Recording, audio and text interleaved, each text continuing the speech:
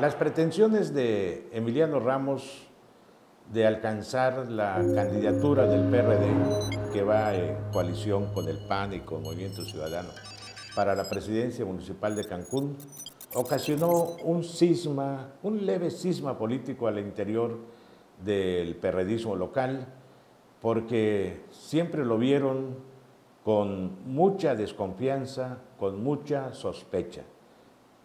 Desconfianza de su integridad moral, desconfianza de su lealtad política y también en las alturas del gobierno estatal así fue visto, así es visto, mejor dicho.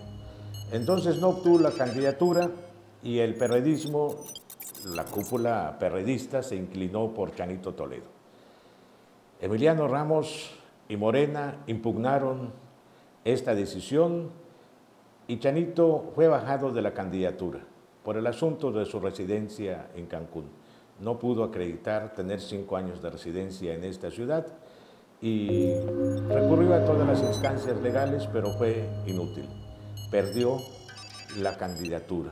Una candidatura que en realidad nunca obtuvo legalmente, ya hemos dicho, pero allí quedó entrampada, entrampado el PRD, el PAN y también en la cola en el cabús Movimiento Ciudadano, que tienen ahora a un candidato testimonial, que a lo mejor en los siguientes días lo cambian, pero hicieron estos partidos, principalmente el PRD, el más grande ridículo que se haya visto en la política del Estado.